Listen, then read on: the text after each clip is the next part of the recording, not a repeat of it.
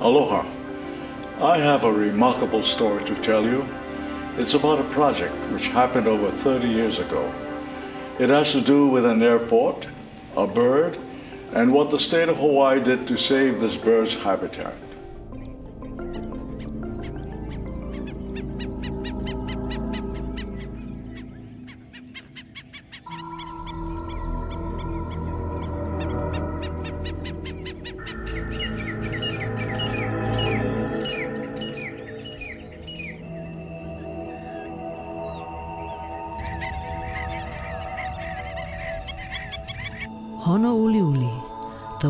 Wildlife refuge located in Pearl Harbor's West Loch. It provides a safe habitat for water birds and especially the aeo, the Hawaiian stilt, a native species, an endangered species that is now thriving, but this was not the case in 1970.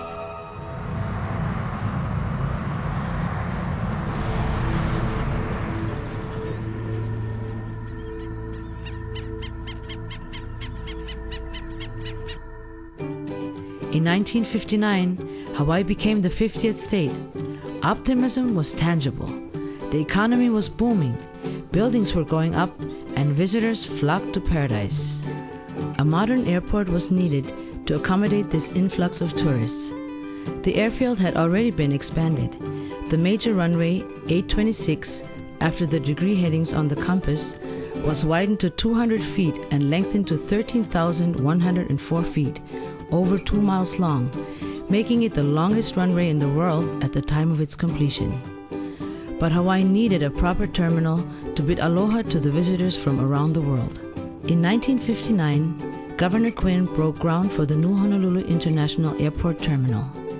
A year later, 1.6 million passengers arrived at and departed from Honolulu International Airport. The number almost doubled to 3.4 million in 1966. 22 airlines had requested trans Pacific routes. In addition, Pan American Airlines and Boeing announced plans to put 747 jumbo jets into operation.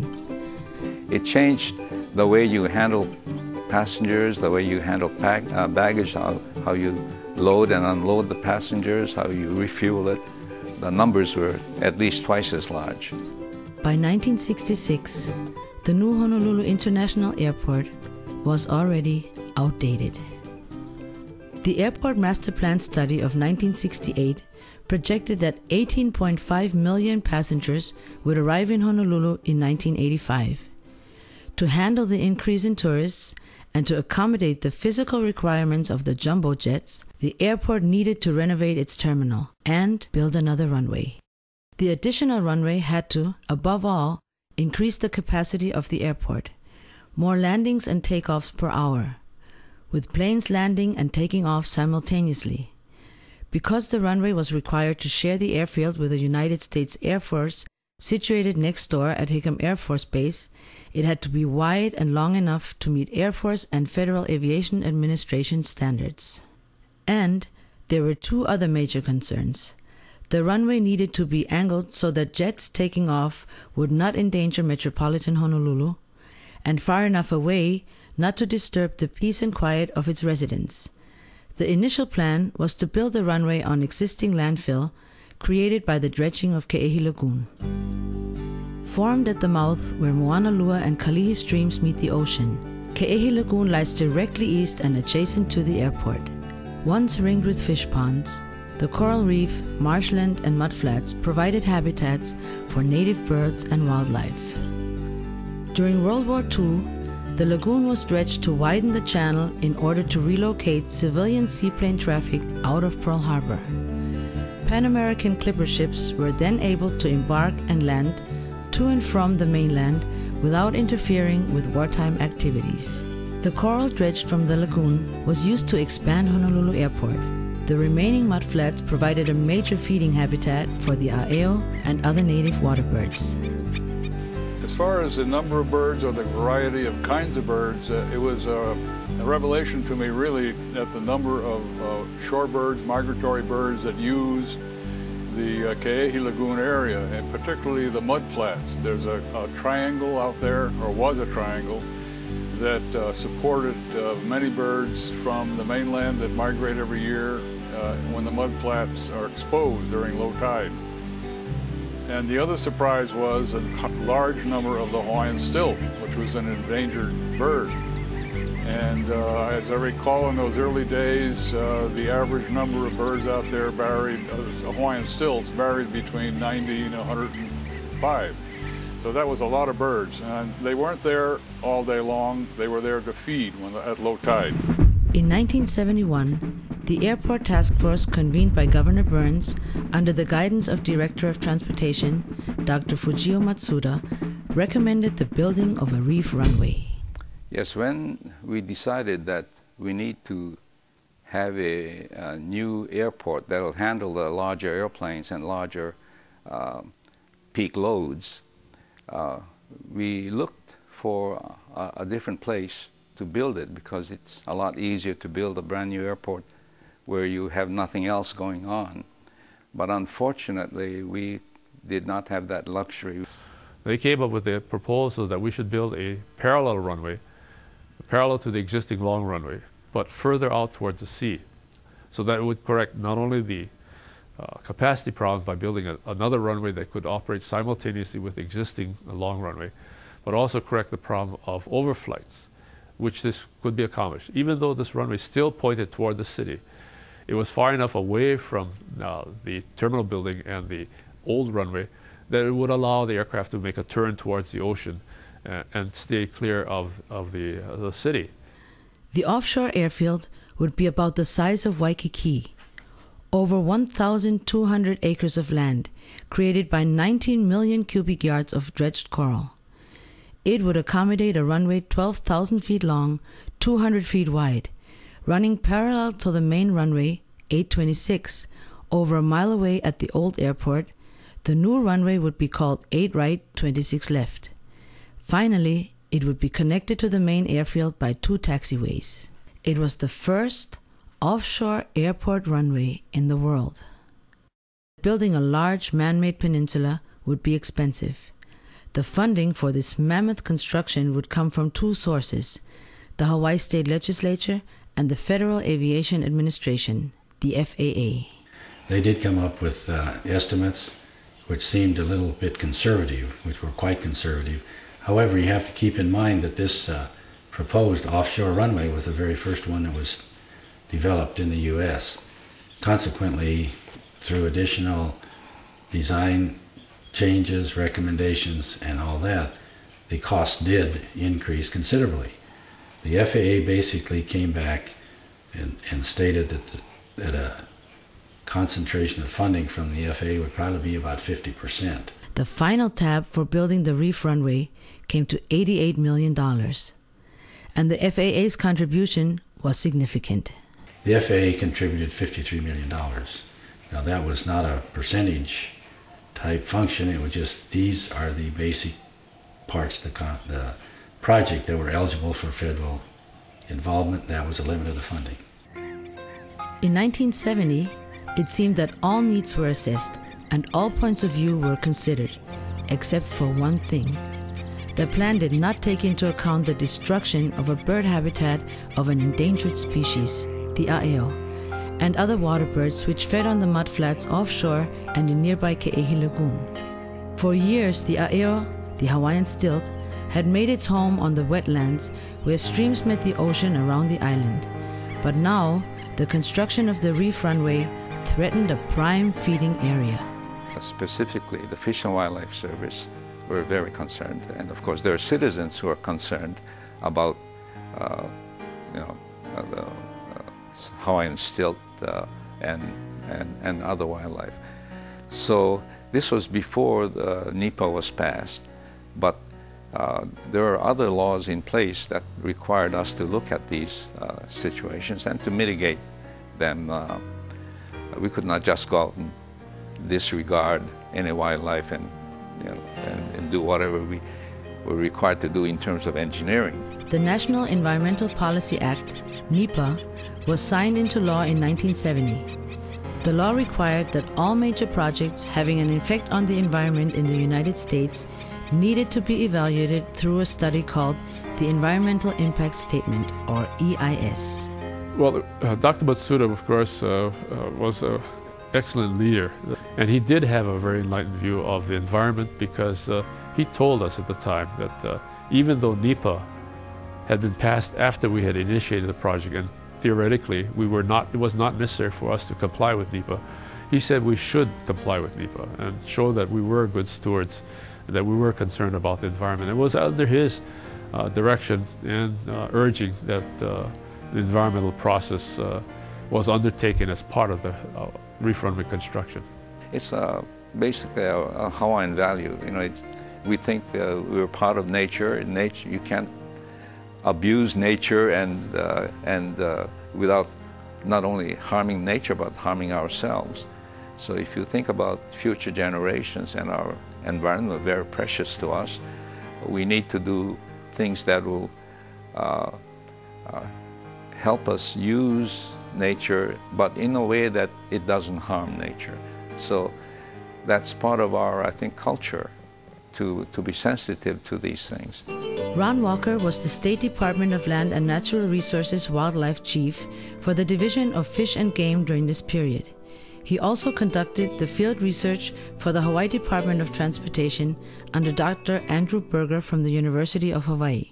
One thing we immediately found out in doing the study at the reef runway was that the mudflats that are exposed during low tides constituted feeding areas for migratory birds, shorebirds, some waterfowl, and the Hawaiian stilt, which was interest to everybody. And when the tide came up, the mudflats were covered, there was no more feeding. It was found that while the a'eo and other water birds fed on the mudflats of Ke'ehi Lagoon, they did not nest there. At this point, mitigation was recommended to the Department of Transportation. Mitigation is uh, a word which means if you're going to harm something, you have to do something to uh, prevent that harm from being overriding and in a, in a case of wetland birds, uh, maybe causing their extinction or reducing them down to low numbers where they might be threatened.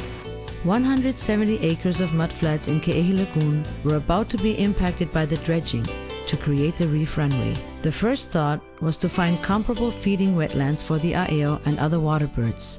This provided the impetus for Ron Walker and a team of biologists with the Hawaiian Water Birds Recovery Team on Oahu to identify two areas around Pearl Harbor as not only suitable feeding areas, but breeding areas for the a'eo and fellow wetland birds. Jerry Swedberg figured very prominently in this uh, recovery team and the recovery plan.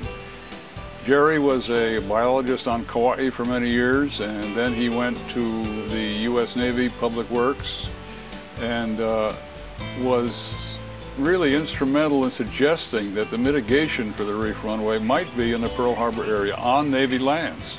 Consequently, the Navy offered two areas on Pearl Harbor's West Loch for environmental mitigation, Honouliuli and Waiawa. Obtaining the land for these wildlife refuges was a major hurdle towards saving an endangered species.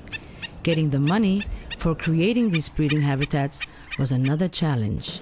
At this time, environmental advocates, including the Audubon Society and Life of the Land, questioned the entire scope of the reef runway's impact on the environment. Among the advocates, a member of the Audubon Society, was a McKinley High School teacher, Betty Nagamine. She specifically addressed how the Department of Transportation would fund the creation of two bird habitats in Pearl Harbor and in compliance with the newly enacted NEPA. She proposed that the FAA help with the cost for mitigation. She came to my office and presented what she thought was uh, things that should be considered, particularly by the FAA, and so stated that it seemed somewhat nearsighted not to participate in it because our federal law was requiring this mitigation. As a result of listening to her presentation, I agreed that we would attempt to find out more information on ourselves why we were not participating, even though I knew at the time that we did not expect or did not feel that that type of function was included in the grant program.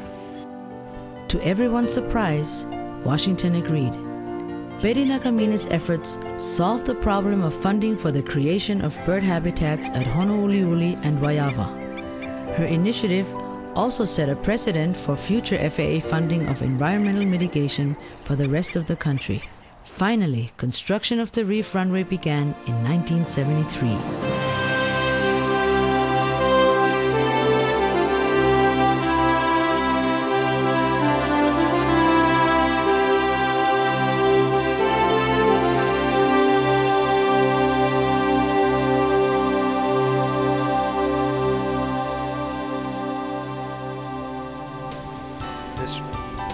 Concrete structure is a wave dissipation device designed to absorb the energy from waves that could get as high as 25 feet. It protects the reef runway.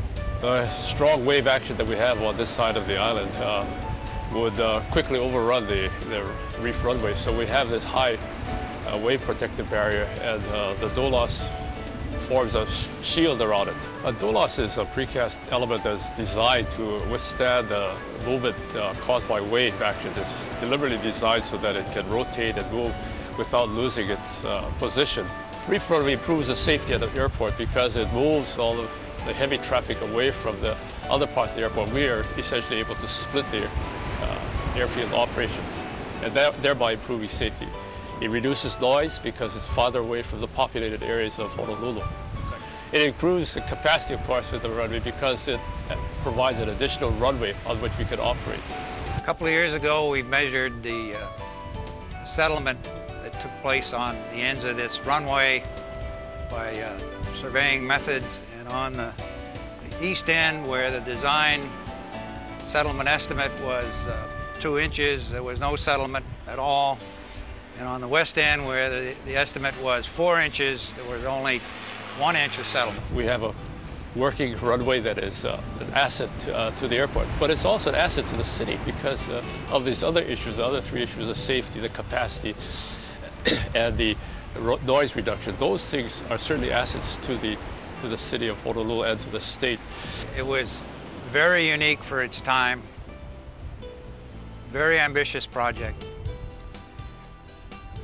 remarkable that the amount of funding needing, needed was provided by the FAA and the state. It was uh, the first environmentally controversial project that the Federal Aviation Administration had to deal with and uh, turned out extremely well. There were compromises made in terms of uh, mitigating with habitat that, that uh, are kind of a landmark. A meeting of the minds among the directors of state and federal organizations had occurred. The Department of Transportation Airports Division, Department of Land and Natural Resources, the Federal Aviation Administration, the U.S. Navy, and U.S. Fish and Wildlife Service all came together and agreed to help save a bird, the aeo, and its fellow endangered species by creating a safe habitat to feed and breed. In 1977, the largest airport reef runway of its kind was completed. Has it withstood the test of time? I don't think there's any question that it has. It's, the, the runway is uh, over 30 years old now. It, it, seems to be as good as when we saw it when it was completed. Uh, I don't have any doubt that it will last even longer. Here we are 30 years later almost, and it's doing its job every day. Salt of the Earth project.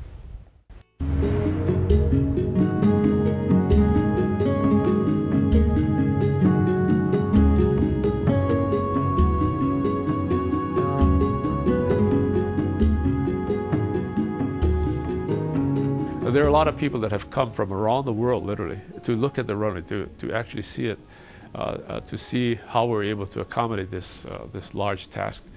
Uh, it's still uh, looked on as a, an example of, of good design, good planning, good engineering. The final product uh, met all of our expectations, in fact, exceeded them. Hawaii's growth of tourism could not have been accomplished if we had only one runway and which was also a joint use military uh, airport. So, so, with all of the uh, military activities that we have been going through, uh, the, uh, the impact on, on, on, tourism in Hawaii would have been affected had we not had the uh, reef runway. It began with the reality that Hawaii had become the hub of air travel in the Pacific after World War II. The reef runway was built to meet this challenge by increasing the capacity of air traffic. During the course of planning, a bird and its habitat became a tipping point where progress needed to be balanced by a concern for nature. This challenge literally halted the construction of the reef runway. In order to proceed, the leaders of this project had to find it in their hearts to do the right thing, what Hawaiians call pono. I believe the project turned out to be very successful, and it did survive the many, many challenges by the opponents to the project itself.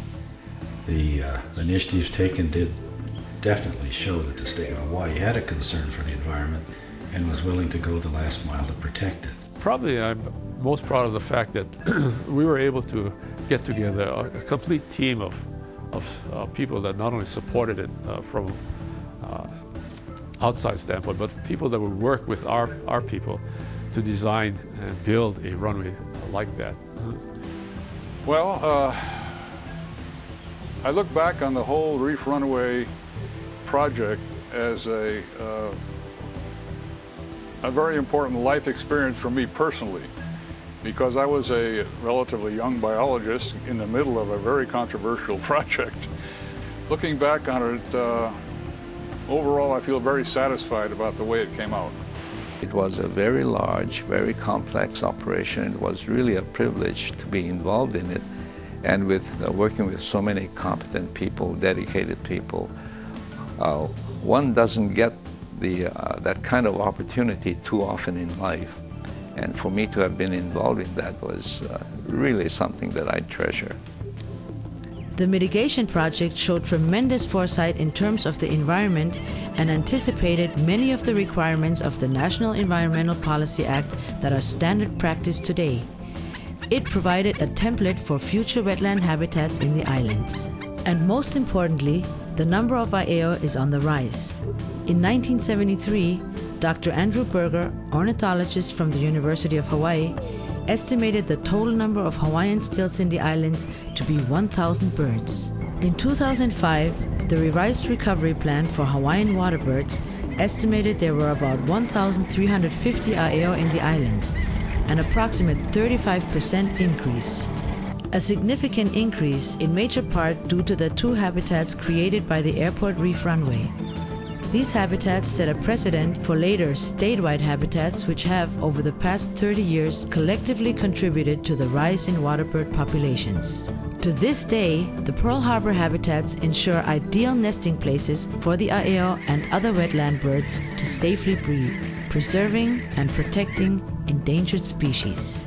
The Honouliuli and Waiawa National Wildlife Refuges are symbolic of Hawaii's love and respect for the land. In 1977, Hawaii had built a world-class airport with a first-of-a-kind runway, quiet and safe enough to be near a major metropolitan area, long and wide enough to provide landing for even the space shuttle. And most importantly, this project represents how various state and federal government agencies and departments can work together to provide for the needs of Hawaii's tourist industry and also protect its environment. The Hawaii State motto sums it up. Po Maukea Ka'aina Ikapono. The life of the land is perpetuated in righteousness.